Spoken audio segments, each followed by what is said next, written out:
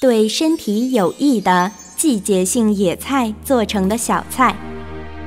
热腾腾的米饭和提高身体活力的汤，把汤水熬煮出来制成的各种汤和酱，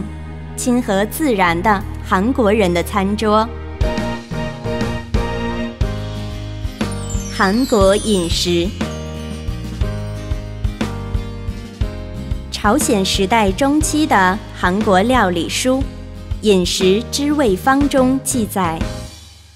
不仅考虑到食物的味道，而且功效和药效也很重视，强调健康的饮食。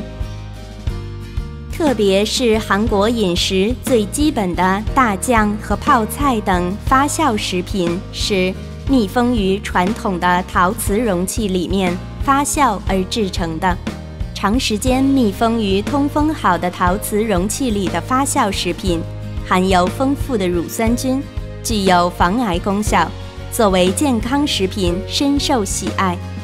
特别是韩国食文化的花——辣白菜，是被选举为2006年美国健康专刊《Health》选拔的世界五代健康食品。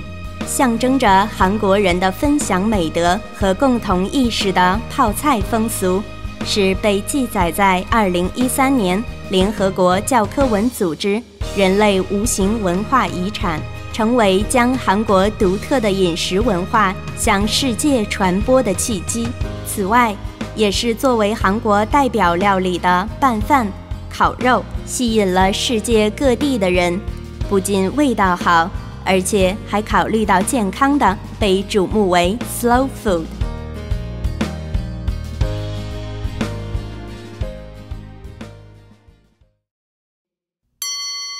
这首曲子描绘了在趣味横生的村庄的宴席上，席间摆放着甚至能把桌子腿压弯的各种风味和各样颜色的寒食的景象。